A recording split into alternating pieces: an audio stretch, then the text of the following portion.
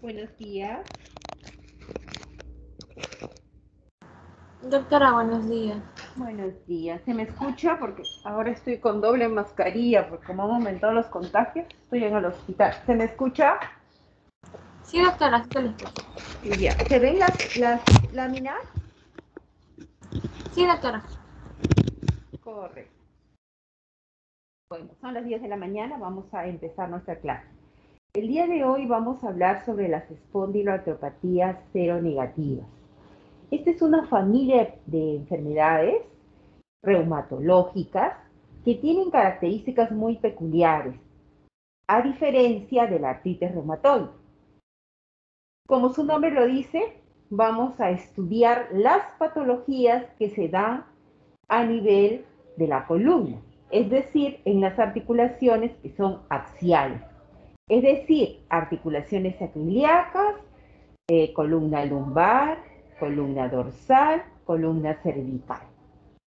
Y cero negativas porque cuando nosotros pedimos los anticuerpos, tipo factor reumatoideo, anticuerpos anticitrulinados, estos son negativos. Entonces esto marca una gran diferencia con la artritis reumatoide.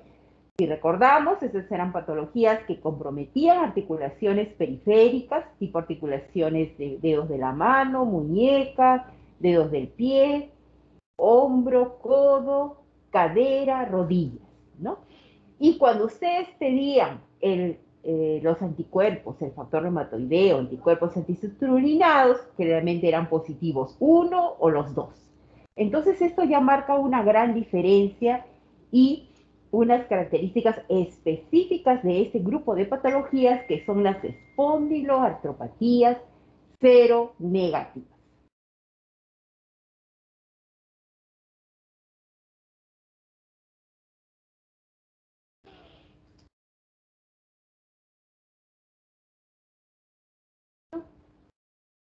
Algo importante de este grupo de patologías es de que si solicitamos el, antígeno de histocompatibilidad está muy asociado al HLA-B27, a diferencia de la artritis que estaba en relación con el HLA-B4. Entonces, esta también es otra diferencia importante. Son enfermedades heterogéneas en su presentación. Las manifestaciones clínicas iniciales van desde limitación de la columna, y puede tener otras alteraciones en otras partes del cuerpo que no hemos visto en las otras patologías, como es en la piel, con la psoriasis, con cuadros infecciosos a nivel del tubo digestivo. Si encontramos todos los criterios específicos de este grupo de familias, vamos a decir que son espondiloartropatías diferenciadas. Y si le falta uno u otro criterio, vamos a decir que son espondiloartropatías indiferenciadas. Un ratito, disculpen, están tocando la puerta.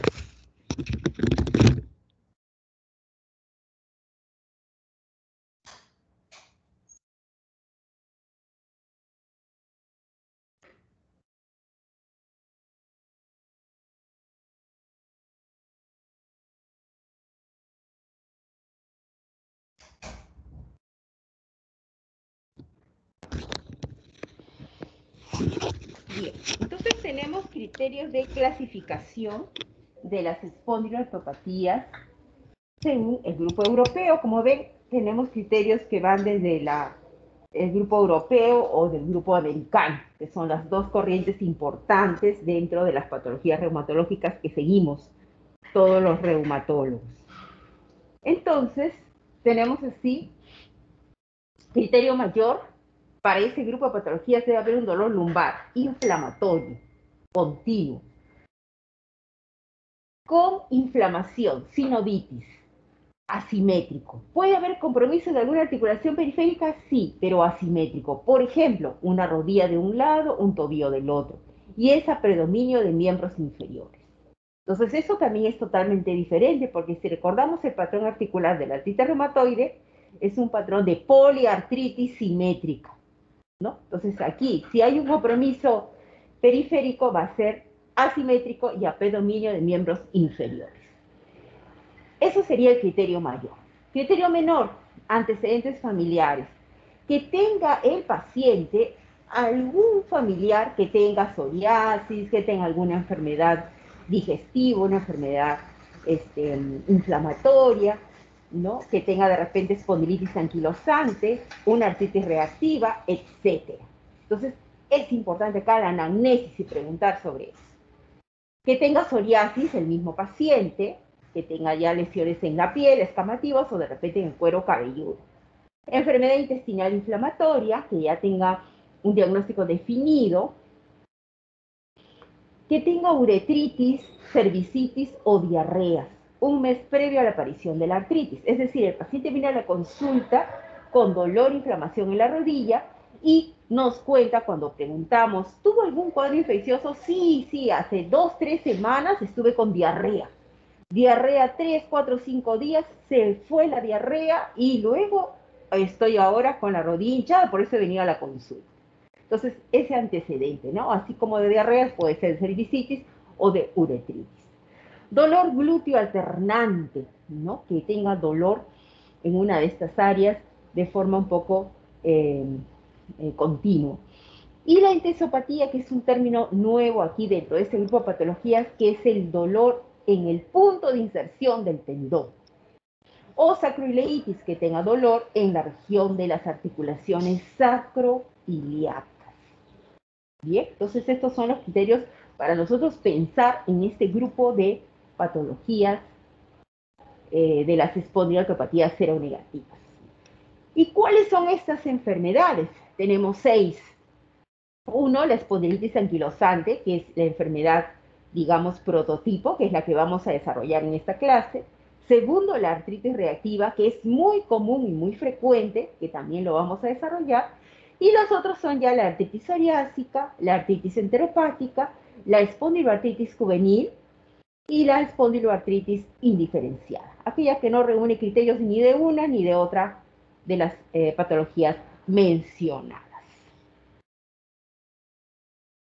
La presentación en porcentajes, la gran asociación con el HLA-B27, no olvidarnos, la etiología es desconocida, pero existe siempre la interacción entre factores genéticos y ambientales. 27, sus características. Pasando varias de estas cosas ya les ha hablado la doctora Noriega en su clase de inmunología. Dentro de los criterios del dolor axial, acá entra otro concepto importante, ¿no? ¿Cómo definimos un dolor axial inflamatorio, ¿no? El paciente viene, me duele mi columna, él no va a decir me duele la región axial, sino me duele mi columna, un dolor intenso. Entonces, ¿qué características debe tener para yo pensar que es un dolor del tipo de estas patologías inflamatorias sistémicas? O de repente es una lumbalgia común, ¿no? Que porque estoy trabajando sentado, ahora que hago trabajo remoto, o de repente porque cargué un peso, etc. Entonces, ¿qué características debe tener ese dolor a nivel axial de tipo inflamatorio? Tenemos dos criterios. Si nos basamos en los criterios de Calín, el inicio es antes de los 40 años, duración por lo menos de tres meses, inicio insidioso, con una rigidez matutina, es decir, al levantarse siente un dolor en su columna muy intenso y con mucha dificultad para incorporarse. Y cuando hace ejercicios mejora, disminuye este dolor. Entonces, por lo menos que estén cuatro de los cinco criterios, eh, nosotros podemos hablar de un dolor tipo axial inflamatorio. Según los criterios de Berlín, nos habla del tiempo, que debe estar más de tres meses este dolor. En ambos coinciden, ¿no? El tiempo es un dolor ya largo. Rigidez mayor de 30 minutos.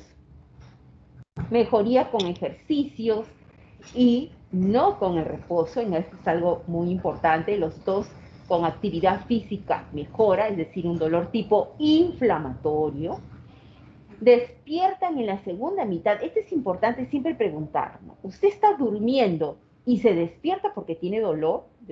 Sí, yo estoy durmiendo muy bien, pero me giro hacia un costado y empieza el dolor de mi columna lumbar. Entonces es un dolor eh, nocturno ¿no? que presenta el paciente, típico de este grupo de patologías. Y el dolor glúteo alternado. Para los criterios de Berlín, por lo menos dos de cinco ya están mencionando que ese es un dolor tipo inflamatorio. En realidad pueden aplicar cualquiera de los dos. Pueden trabajar. Bien. Continuamos. Formas clínicas. La espondilitis anquilosante. Esa es una enfermedad prototipo del grupo y que vamos a ver como la lámina que ustedes están viendo a través de cada década, cómo va cambiando la columna.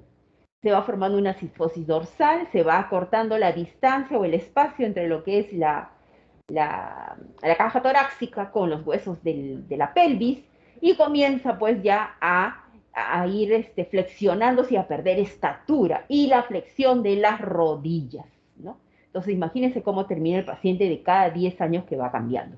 Esto lo vemos en los pacientes con espondilitis anquilosante, donde la localización es a nivel ascendente, vamos a ver, desde las saciliacas, columna lumbar, dorsal y cervical.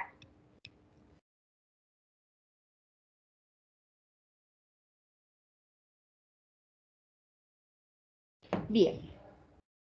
Luego tenemos predominio más en varones, de 5 a 1, a diferencia de las demás patologías que han desarrollado en sus teorías, acá lo vemos más en varones, personas jóvenes, la incidencia aumenta a partir de los 25 años y muy asociado a la, antígeno de histocompatibilidad B27, sobre todo a los que tienen espondilitis anquilosante. Dentro de la patogenie debemos recordar dos puntos importantes, la asociación con HLA-B27 y también la inflamación, la llamada entesitis, que es la inflamación en el punto de inserción del tendón, muy importante, que lo vemos en ese grupo de patologías. Sitios comunes de la entesitis, en la inserción del tendón de Aquiles, en el calcáneo, la fácil plantar en el calcáneo, en el tendón patelar del tubérculo tibial, en la cabeza de los metatarsos y en la inserción ligamentaria de los cuerpos vertebrales. Y así tenemos si tenemos un paciente joven, si tenemos un paciente joven que comienza a presentar, si comienza a presentar eh, dolor, ¿no? o sea, inflamación, artritis eh, de forma asimétrica, a de miembros inferiores, un cuadro de oligoartritis, y además tiene entesitis, inflamación, por decir, en el tendón de Aquiles, entonces probablemente este paciente puede estar desarrollando un problema de una eh, espondilitis anquilosante, que por ser joven tiene esta característica clínica. Pero si es una persona adulta que tiene un problema de espondilitis anquilosante, por lo general ellos nos van a referir más dolor sacroiliaco, lumbar, dorsal, cervical. Entonces son dos formas clínicas según la edad, cómo se puede presentar la espondilitis anquilosante. Recordar. Recordar la lámina, cómo se da. ¿Tiene síntomas articulares? Sí, puede haber dolor axial inflamatorio con rigidez. Predominio de inflamación se presenta con dolor dorso-lumbar, lo cual es crónico, progresivo, asociado a una rigidez más intenso y duradero durante el reposo prolongado, en particular nocturno. Y reducción de la movilidad, cada 10 años comienza a disminuir la movilidad de esa columna.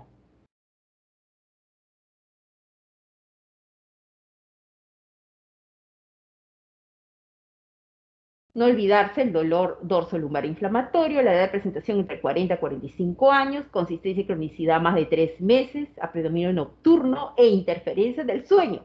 Se despiertan luego que están durmiendo por este dolor. Rigidez matinal en la mañana, mucha rigidez en esa columna. Mejora con la actividad física moderada y generalmente aumenta con actividad física mayor. Sacroileitis, dolor en la articulación sacroiliaca, dolor glúteo alternante y no olvidarse el dolor ascendente. Región torácica puede haber dolor no por compromiso pulmonar, sino por articulaciones costovertebrales y externos costales que tienen una rigidez y que hay dolor cuando toman aire, cuando bostezan o tosen. ¿Puede haber artritis periférica? Sí, en jóvenes. Puede ser de comienzo agudo, predomina las extremidades inferiores, especialmente rodillas, tobillos y pie, y generalmente es asimétrico. Entonces, típicamente recordar oligoartritis asimétrico y se acompaña de signos inflamatorios. Otro concepto que debemos recordar es la dactilitis, dedos en salchichas. Es decir, en este grupo de patologías hay aumento de volumen de todos los componentes del dedo, ya sea de la mano o del pie. Lo, lo clásico es en el pie, se inflama la articulación, los ligamentos, los tendones, la fascia, todo el componente del el dedo. Y así vemos, dedo en salchicha, artritis, oligoartritis, entesitis y sacroileitis. Entonces, recordar estas formas de presentación muy típicas de la espondilitis anquilosante. Maniobras de Sjogren, ya es semiología, como pueden ustedes evaluar la rigidez de esta columna,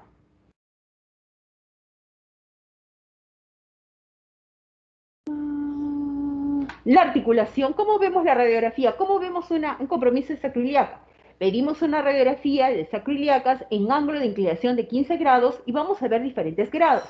Cero cuando es normal, uno cuando hay alteraciones inespecíficas, dos cuando hay pérdida de definición de los bordes articulares con esclerosis y erosiones, tres cuando hay sacroleitis moderada o avanzada con una o más erosiones con esclerosis y ensanchamiento o anquilosis parcial del espacio articular. Y la cuarta ya es anquilosis total, con o sin esclerosis subcondral, donde ya no hay espacio articular, ¿no? Esto con una radiografía podemos evaluar sacroiliacas y en casos de, un poco de, de problemas para el diagnóstico podemos solicitar una resonancia magnética, pero básico una radiografía. Miren la columna cómo va cambiando, se van formando unos puentes óseos y va dando la rigidez. Por eso que el paciente tiene mucha rigidez al levantarse, ¿no? Conforme van pasando los años y se va modificando la estructura normal de esa columna. ¿Cuáles son las manifestaciones extraarticulares de la espondilitis anquilosante? Puede haber uveitis, así como en artritis reumatoide hablábamos de escleritis. Aquí recordar, en la espondilitis anquilosante, uveitis, anterior aguda. Es una patología inflamatoria idiopática. Suele ser unilateral y episódica, puede haber hiperemia conjuntival, fotofobia y visión borrosa, cineques entre cristalino, iris y cataratas. La cámara anterior con la lámpara hendidura revela cúmulo de células inflamatorias secundaria a la ruptura de la barrera hematoacuosa. Y bueno, los cambios que podemos ver, ¿no? Puede llegar hasta ceguera, hay que tener bastante cuidado. Manifestaciones cardiovasculares, aortitis basal y valvular. Renal es raro, pero puede haber una amiloidosis secundaria cuando hay muchos años de tiempo de enfermedad, en este caso de la espondilitis anquilosante. Proteinuria progresiva y disminución de la filtración glomerular. Pulmonar puede haber una neumopatía restrictiva extrínseca por afección de las articulaciones. Costo external y costo vertebral. Neurológicos, traumatismo sobre la columna, consecuencias de progresión, luxación, atlantoxoidea y mielopatía secundaria, ¿no? Por los cambios crónicos que se dan en la columna. Caso intestinal, hasta el 60% de los pacientes desarrollan inflamación intestinal asintomática en la región distal del ilion y proximal del colon. En laboratorio vamos a encontrar velocidad de cementación y proteína selectiva acelerada si hacemos el estudio líquido sinovial, es un líquido inflamatorio con cultivos negativos. En la microbiología podemos nosotros determinar el cuadro infeccioso, ¿no? Si el paciente nos refiere, tuvo una infección con diarreas, entonces trata de hallar ese germen que ha causado la diarrea porque ese es el que está provocando la artritis que vemos en el paciente.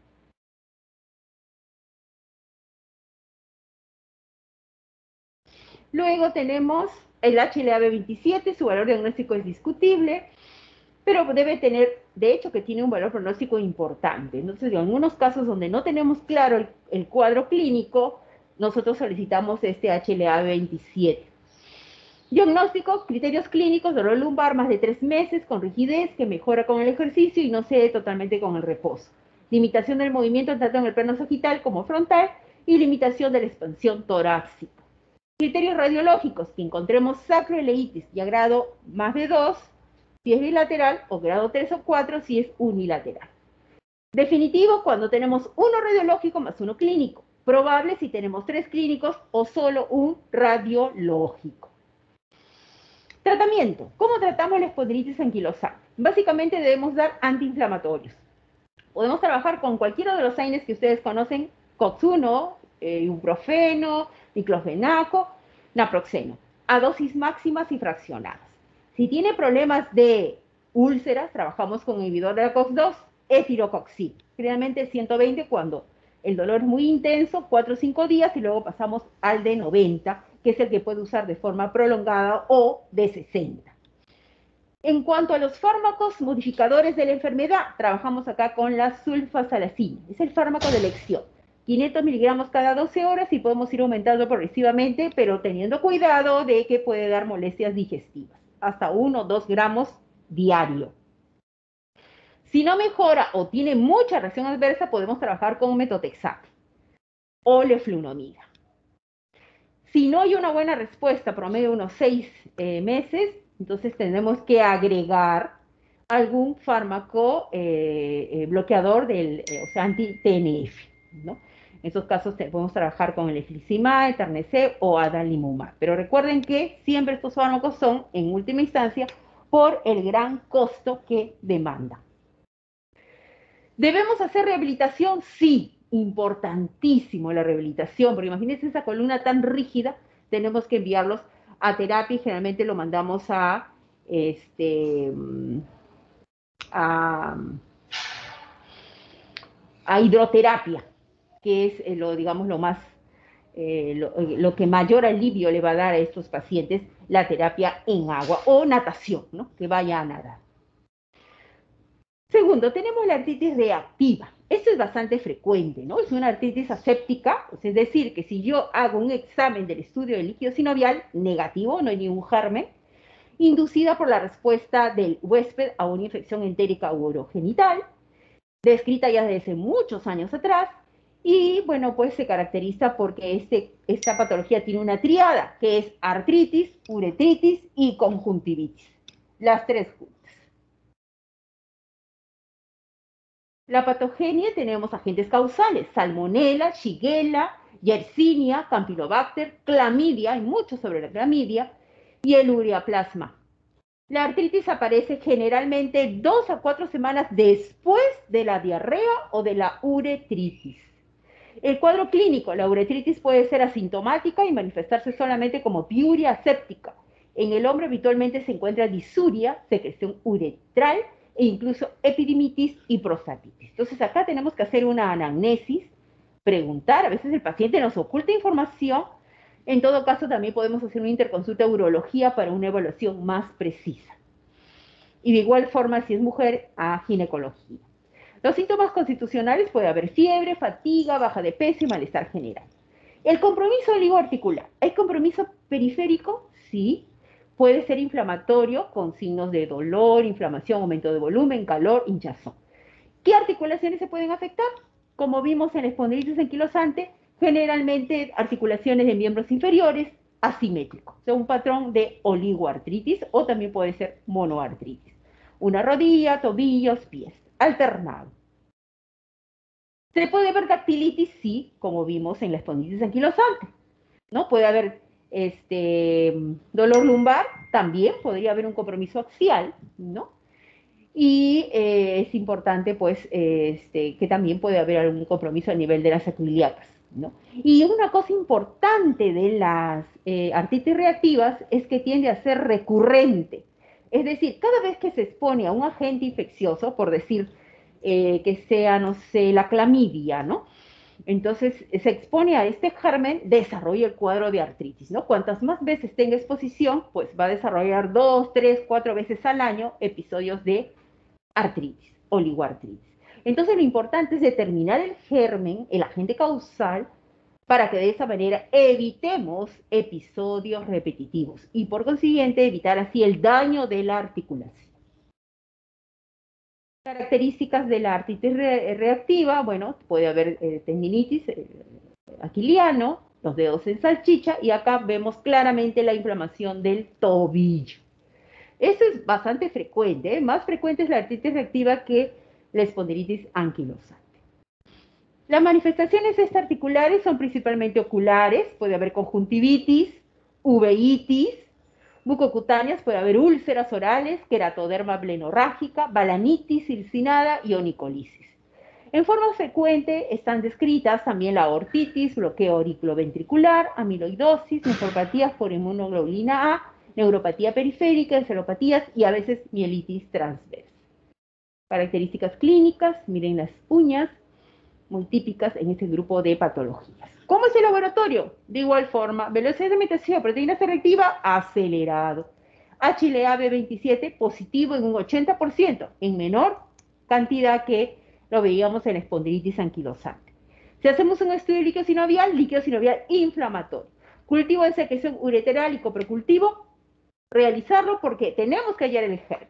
Serología específica para Yersinia, clamidia, campylobacter y técnicas de amplificación de DNA para clamidia que pueden ser muy útiles, porque muchas veces las fracciones del germen, las fracciones del germen son las que se van a la articulación, no el germen completo, por eso cuando hacemos el cultivo no lo hallamos, pero sí pequeñas fracciones, un DNA, un RNA, RNA del, del germen puede ir a la articulación y desarrolla luego la artritis. Entonces, sí se pueden hacer esos tipos de exámenes como reacción de cadena de polimerasa, para determinar qué germen es el causa. La radiología destaca la endosopatía, calcánea y sacroileitis. Siempre las radiologías nos van a ayudar muchísimo. Ecografías también para determinar eh, eh, Tratamiento. Acá también, de igual forma, vamos a trabajar con los antiinflamatorios, los clásicos, y si trabajamos con algún inhibidor del COX-2 será el etilcoxi. ¿Podemos dar esteroides, corticoides? Sí, siempre y cuando, eh, sobre todo, como son articulaciones que acá se comprometen una rodilla en tobillo, entonces hacemos un cultivo de líquido sinovial y luego podemos poner el corticoide intraarticular. Fármacos modificadores de la enfermedad, si vemos que tiene mucha recurrencia, muchos cuadros, episodios, ¿no? Cíclicos muy repetitivos, entonces tenemos que controlar, además de dar un antibiótico para el germen causal, también debemos dar un fármaco en esos casos. Entonces trabajaremos con la sulfasalacina, metotexate o la acetoprina. Y la rehabilitación. Nunca olvidarse de la fisioterapia. Bien. ¿Alguna pregunta hasta acá? Porque vamos a desarrollar la artritis, la siguiente clase que es la artritis juvenil. Ya. Bien. Entonces ahora ya desarrollamos nuestra clase que es la artritis reumatoide juvenil o también llamada artritis idiopática juvenil. Se define por la presencia de tumefacción articular de al menos dos más de los siguientes signos. Dolor espontáneo de la presión, aumento de calor local y una impotencia funcional. El término artritis idiopática juvenil engloba todas las artritis de causa desconocida, que deben estar por lo menos seis semanas instaladas en este pequeño. Y la evolución debe estar hasta los 16 años de edad. Entonces, todo aquel pequeño de 0 hasta 16 años que presente un cuadro de artritis, nosotros vamos a denominarlo artritis idiopática juvenil, artritis cónica juvenil o artritis reumatoide juvenil. Cualquiera de esos términos son válidos. Ahora, en el niño, a diferencia del adulto, del artritis reumatoide que hemos estudiado, Aquí vamos a ver seis formas de presentación y tenemos que, de acuerdo a las características clínicas, definir cuál de ellas es la que tiene nuestro paciente. Es más frecuente en niñas, comienza generalmente entre 1 a 3 años, ¿no? Y es diferente, pues la artritis en niños es totalmente diferente, aunque vamos a ver que hay algunas que son más frecuentes en niños, pero tiene tres, seis, seis formas de presentación.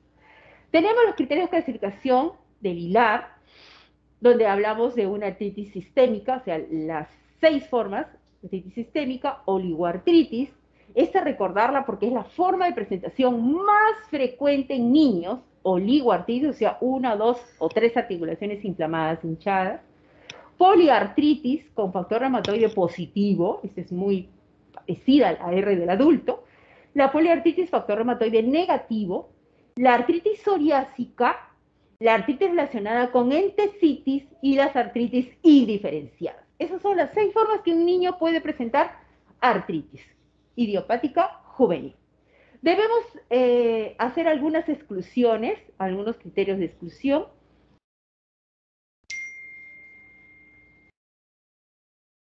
Esta es la patogenie, cómo se determina.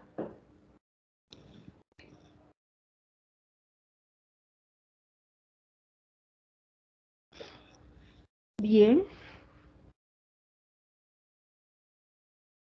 Las formas de presentación. Aquí recordar que la oligoartritis se presenta entre el 27 a 56% de los niños. Y el pico es de 2 a 4 años. Esto recordar, si ven, es la mayor forma de presentación en niños. De ahí le sigue la forma de artritis reumatoide, eh, factor, eh, poliartritis, factor reumatoide negativo. Y luego las demás, ¿no? Por suerte la sistémica es del 4 al 17%, que es la que es más grave a cualquier edad y en cualquier sexo, y las demás que ya son pequeñas en menor cantidad, ¿no? Pero esta recordad, en niños la más frecuente es la forma de oligoartritis. Mencionamos que había criterios de exclusión para definir la artritis reumatoide juvenil, debemos excluir algunas otras patologías como la psoriasis o historia de psoriasis en el paciente o en un familiar de primer grado, porque ya no sería una artritis este, idiopática juvenil, ya sería una psoriasis. Artritis de inicio después del sexto año de vida en un varón que ya tenga HLA de 27 positivo, porque estaríamos frente a una espondilopatía cero negativa, yo no en una R. Espondilitis anquilosante, artritis relacionada con entesitis, acroleitis, con enfermedad inflamatoria intestinal o síndrome de Reiter o itis anterior aguda en un paciente o en un familiar, porque ahí ya estaríamos en otro grupo de patologías. Presencia de factor reumatoide IgM en al menos dos determinaciones separadas, tres meses entre sí y una artritis idiopática sistémica en el paciente. Y así tenemos las formas de presentación. Clínicamente, ¿cómo es una artritis sistémica? Es una artritis en una o más articulaciones acompañada o precedida por fiebre, por fiebre, de al menos dos semanas de duración y que se documenta a diario durante al menos tres días. Algo típico es la siguiente triada, artritis, fiebre y un exacto tema evanescente, como lo ven en la imagen, no sé si lo pueden ver, es como un pequeño sarpullido. En cuanto se va la fiebre, se va ese exantema. Por eso hay que estar siempre evaluando, se pone en la hoja el interno, pone sospecha de artritis idiopática juvenil o artritis juvenil, este, eh, en fiebre, por favor, observar la piel, ¿no? Y le revisan si es que en, la fiebre que desarrolla se da ese exantema típico de la artritis sistémica. Puede haber anemia, leucocitosis, trombocitosis, elevación de los reactantes de fase aguda. Puede haber linfadenopatía, hepatosplenomegalia, serositis, derrame pleural, derrame pericárdico y un exantema eritematoso evanescente. ¿no? Muy importante. La oligoartritis, no olvidarse, artritis que afecta entre una a cuatro articulaciones durante los primeros seis meses de enfermedad y se reconocen dos categorías. Recordar que puede ser una, dos o tres articulaciones inflamadas, el patrón es de oligoartritis asimétrico, ¿no? Como ven acá, rodilla inflamada, tobillo inflamado. Compromiso ocular muy importante, siempre los niños que tengan artritis juvenil, siempre una interconsulta de oftalmología porque puede haber algún compromiso ocular importante y hay que determinarlo prematuramente para evitar complicaciones. Examen de laboratorio pueden tener ANA positivo a títulos muy bajitos,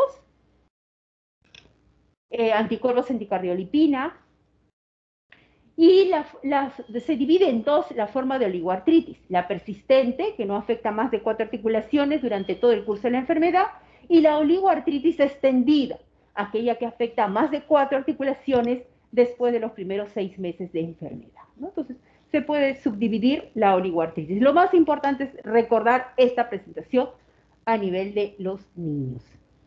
La poliartritis factor reumatoide negativo es artritis que afecta a cinco o más articulaciones durante los seis primeros meses de enfermedad y la determinación del factor reumatoide es negativo ¿no? y el anti-CCP. Algo típico es la carita, tienen una micronactinia y la inserción de las orejitas, de los pabellones de las orejas, son bastante bajos, ¿no? Entonces, tienen una carita muy peculiar los pacientes con poliartritis factor reumatoide negativo. Poliartritis factor reumatoide positivo, artritis que afecta a cinco o más articulaciones durante los seis primeros meses de enfermedad. La determinación del factor reumatoide es positiva en al menos dos ocasiones separadas de tres meses entre sí en los primeros seis meses de la enfermedad. Esta es la que tiende a ser deformante y muy continua y progresiva, ¿no? Y lamentablemente muy incapacitante. Imagínense un niño con artritis, pues da un problema ya mayor de, deformidad. Estudio analítico puede haber anemia, leucocitosis, reactantes de fase aguda elevado, hipergamaglobulinemia y anticuerpos anticitolinados que pueden estar positivos. La artritis psoriásica. En esta va a haber una artritis y psoriasis, tiene que haber cambios en la piel, en las uñas, ¿no? Eh, puede haber dactilitis en este grupo de pacientes, así como vemos los dedos en salchicha, como se están viendo en la lámina, punteado unguial o nicolisis, como vemos en las uñas, y generalmente hay pues un, antecedente de psoriasis, psoriasis en un familiar de primer grado. En la dactilitis puede haber un ANA positivo en un 30-50%. Luego tenemos la artritis relacionada con la entesitis, esta es una artritis y entesitis o artritis o entesitis en al menos dos de los siguientes. Presencia o antecedentes de dolor sacroiliaca. Esto se parece mucho a la clase que hemos terminado de las espondilotopatías seronegativas. Y o dolor lumbosacro de características inflamatorias. Puede haber presencia del HLA-B27, artritis de inicio después del sexto año de vida en un varón, uveitis anterior aguda, sintomática, y antecedentes de espondilitis anquilosantes, artritis relacionada con entesitis o sangroileitis, con enfermedad inflamatoria intestinal o síndrome de Reiter o uveitis anterior aguda en un familiar de primer grado. Entonces, eh, esto es este, importante porque es otra forma de presentación de esta artritis. Podemos ver la entesitis, como vemos aquí, aumento de volumen del tendón de Aquiles, la uveitis, y puede haber cambios también relacionados con conjuntivitis y lesiones eh, este, ureterales, inflamatorias. Y la artritis indiferenciada, aquella artritis que no cumple criterios de ninguna de las categorías mencionadas, pero estamos frente a un cuadro de artritis en un niño, ¿no? Entonces, que está por diferenciarse en sí, a veces con la evolución, ¿no? Con la evolución de los síntomas. Bien, este es un resumen importante de todo lo que se ha mencionado para ver las diferencias entre los seis tipos de artritis. El diagnóstico de la artritis sistémica, el exantema eritematoso evanescente, la linfadenopatía generalizada, la serositis y la hepatomegalia y o, esplenomegalia. Recuerden la fiebre que debe ir acompañado con estas articulaciones inflamadas y por lo menos debe estar dos semanas de duración. La oligoartritis, que afecta a una o cuatro articulaciones durante los primeros seis meses de enfermedad, oligoartritis persistente cuando no afecta más de cuatro articulaciones, o oligoartritis extendida cuando afecta más de cuatro articulaciones después de seis meses. Los criterios de clasificación y cómo vamos a hacer el manejo. El manejo de la artritis eh, juvenil es mucho más complejo que del adulto, puesto que tenemos niños que muchos de estos fármacos podrían producir una reacción adversa muy peculiar por la edad que ellos tienen. Entonces debemos de tener bastante cuidado con el uso de los antiinflamatorios. Los que están permitidos para ellos el naproxeno, de elección, ¿no? Hay que dar según las dosis de kilo de peso. Podemos también trabajar con el meloxicam y pueden pues eh, disminuir el dolor, pero no influye en la progresión ni en la prevenir el daño articular. Entonces tenemos, no nos, nos quedamos cortos solamente si damos antiinflamatorios. Nosotros tenemos el naproxeno, el celecopsib también, si es que hay alguna molestia digestiva, gastritis, podemos trabajar con ellos. Recuerden reacciones adversas que pueden dar los AINES, pseudoporfiria, cefalea, desorientación, alteraciones renales y necrosis papilar, ¿no? Cuando se, se utiliza inclusive hasta insuficiencia renal cuando se utilizan en forma muy, muy exagerada los antiinflamatorios. Los esteroides sistémicos intracutáneos se utilizan bastante los niños, sobre todo si sabemos que la clínica que, mayor, que con mayor frecuencia se presenta en niños es la de oligoartritis. Entonces, imagínense un niño con una rodilla, un tobillo inflamado. Entonces, generalmente trabajamos con infiltración, que es menos dañino que darle corticoides vía oral. Entonces, podemos trabajar muy bien con los eh, corticoides interarticulares. Si estamos frente a una artritis eh, juvenil de la presentación sistémica, ahí sí, con un cuadro de fiebre, hepatitis plenomegalia, serositis, entonces generalmente ahí podemos trabajar por la gravedad con corticoides a dosis un poco bajas. Entonces podemos trabajar con 20-30 miligramos por kilo al día, ¿no? y pequeños mini pulsos de prednisolona, un miligramo por kilo al día, en la forma de la artritis idiopática sistémica. Es la única que está indicada. Recuerden las reacciones adversas, incremento del riesgo de infección, retraso de crecimiento, son niños que están por desarrollarse y lamentablemente los corticoides los pueden hacer que no crezcan adecuadamente, pueden tener diabetes, alteraciones del estado de ánimo y complicaciones gastrointestinales o también necrosis avascular. Las infectaciones que habíamos mencionado, muy importante en estos casos, niños, trabajamos bastante más que dar corticoide sistémico las infiltraciones. El metotexate, fármaco, un farme de primera elección, se utiliza mucho en niños, mejora la calidad de vida, seguro y apropiado a largo plazo y la dosis está de 15 a 20 miligramos por, miligramos por metro cuadrado semanal, vía oral. También se puede dar vía eh, este, endovenosa. Se da 10 a 15 miligramos, se puede incrementar según las características clínicas para lograr el efecto deseado. Si no responde, entonces ya tenemos que utilizar, de repente ya en por lo menos de 9 a 12 meses, utilizar el uso parenteral o a veces el paciente no tolera la vía oral del método exacto. Recordar que siempre vamos a trabajar con ácido fólico, es muy importante ello. La leflunomida, si hay respuesta inadecuada o intolerancia al metotrexate, podemos dar. Si pesa menos de 20 kilos este niño se da dosis de 100 miligramos por un día y dosis de mantenimiento 10 miligramos diario. Si pesa de 20 a 40 kilos, se da 100 miligramos por dos días y mantenimiento 10. Y si pesa más de 40, se da 100 miligramos por tres días y mantenimiento 20 miligramos diario. No es una alternativa. La sulfasalacina, podemos trabajarla de 30 a 50 miligramos por kilo al día, máximo 2 gramos diarios, Tener cuidado porque produce rash cutáneo, leucopenia y también da molestias gastrointestinales, es gastrolesivo. Entonces hay que agregarle un protector para que no incomode mucho al niño el uso de la sulfasalacina. Bien. Entonces, eso es lo que les quería indicar. Ahora, aparte de esto, en un niño con mayor razón que en un adulto, vamos a tener que trabajar mucho también la rehabilitación, ¿no? Porque finalmente el niño no va a ser como el adulto que viene y nos dice, me duele acá, me duele allá, ¿no? El niño lo que hace es no juega, se queda quieto, se queda sentado, se queda echado en un lugar, ¿no? Entonces, eso ya es un signo alarmante que generalmente el padre inmediatamente se percata y, muchas veces ya con ello está llevando al médico, ¿no? Para ser tratado este niño.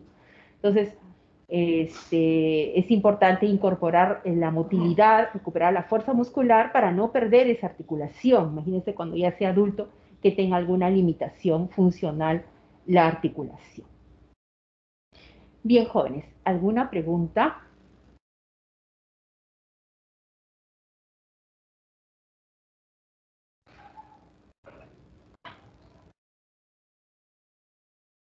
A ver, Diana Valeria Ramírez.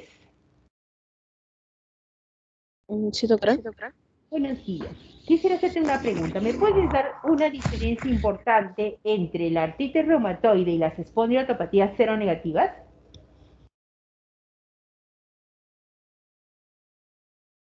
Ah, ¿Cómo dijo doctora? Diferencia entre...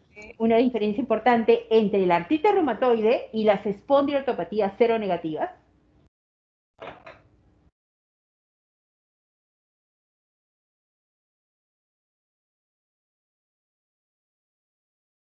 Noriega Vergara, Noriega Vergara Lady, la misma pregunta.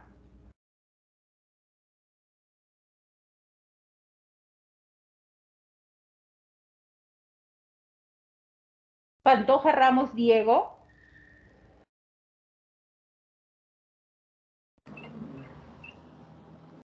Doctora, ¿podría ser de que es asimétrico? No, yo quiero una diferencia. O sea, háblame claro, asimétrico qué? O, O sea, sea, ¿la artritis reumatoide o la...? No, o sea, una no, diferencia entre AR, dime, AR es esto y espondilopatía seronegativa es esto. AR, AR simétrico y, y, poliar, y, poliartri- y poli, poliartritis, ¿no? Y al cambio, eh, la poli, eh, eh, es asimétrico. Claro, la tendencia es que sea asimétrico. Ya, eso es bueno, ya, se acepta, es una diferencia. Otra diferencia, Brian Aldo.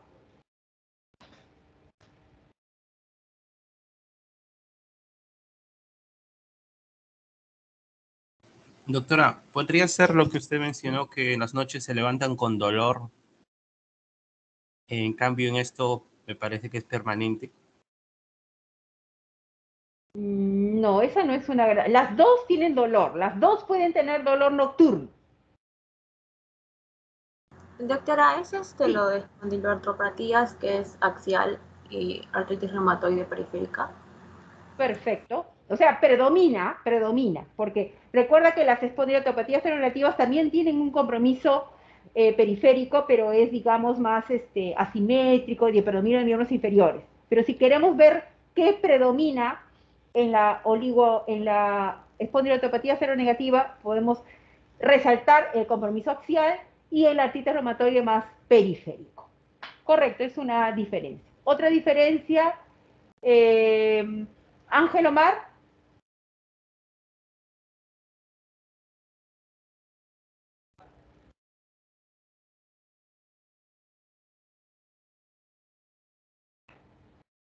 Reilly Pimentel.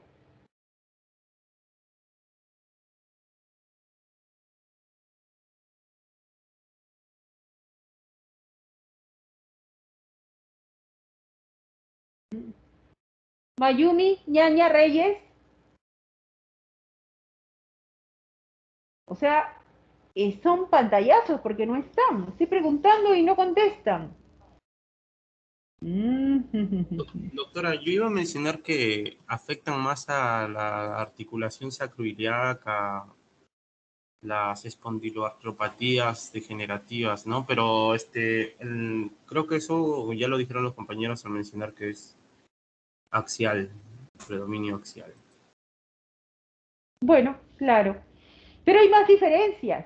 Es más, yo empecé la clase hablando de las diferencias.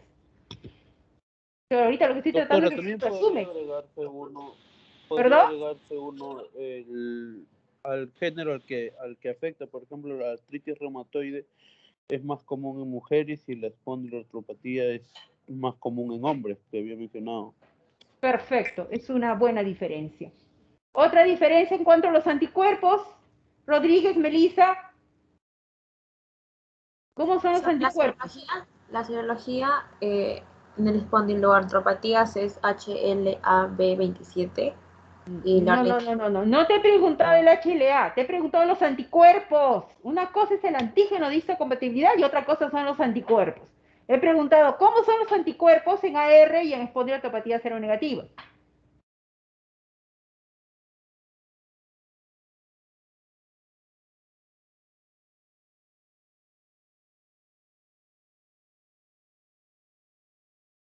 Nayumi. Nayumi está. Isabela, Araceli, ¿cómo son los anticuerpos?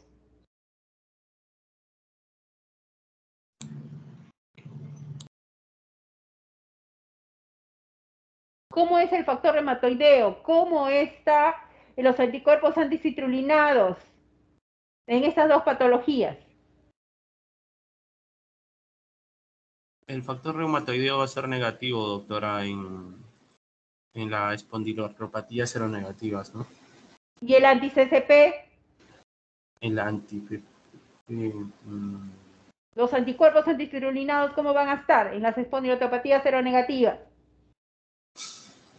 En ese caso creo que estarían positivos. No, ¿cómo va a estar positivo y negativo? Pues, el mismo nombre lo dice. Espondilotopatías seronegativas. Anti-CCP y factor reumatoideo negativo, mira tan fácil como eso. En cambio, factor reumatoideo sí, positivo. En la artritis reumatoide, factor reumatoideo y anti-CCP, positivos. Fácil, no es nada del otro mundo. Pero sí es importante que se hagan el mapa conceptual de AR y espondilotopatía seronegativa, bien característico, para que no tengan ningún tipo de confusión. ¿Cómo es el HLA-B27? Pérez, Malky, Bryan. El HLA-B27, eh, perdón, el HLA, el antígeno de histocompatibilidad. ¿Cómo es en el AR, artritis reumatoide, y cómo es en la eh, espondilotopatía seronegativa?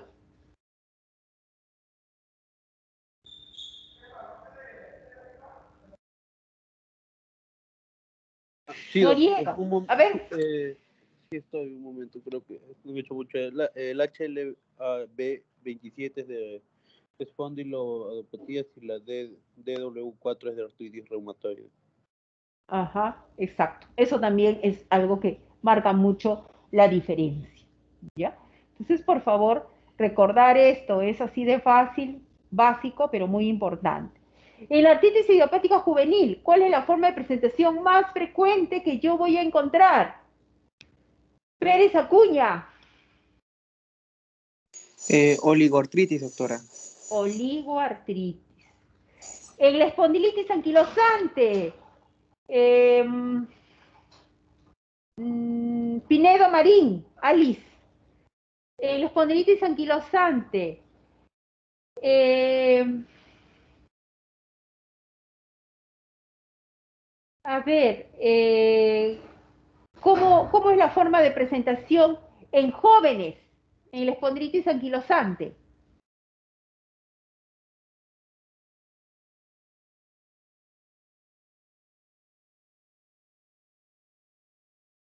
Nakamura.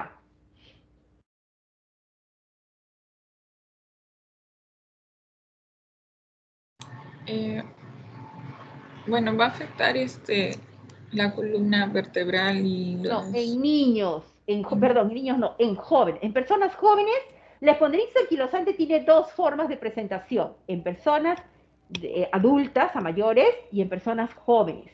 ¿Cuál es la forma de presentación más frecuente en jóvenes de la espondilitis anquilosante?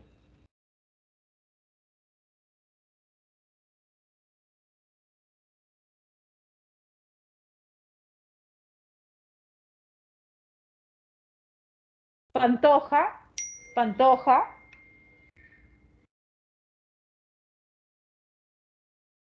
Pantoja,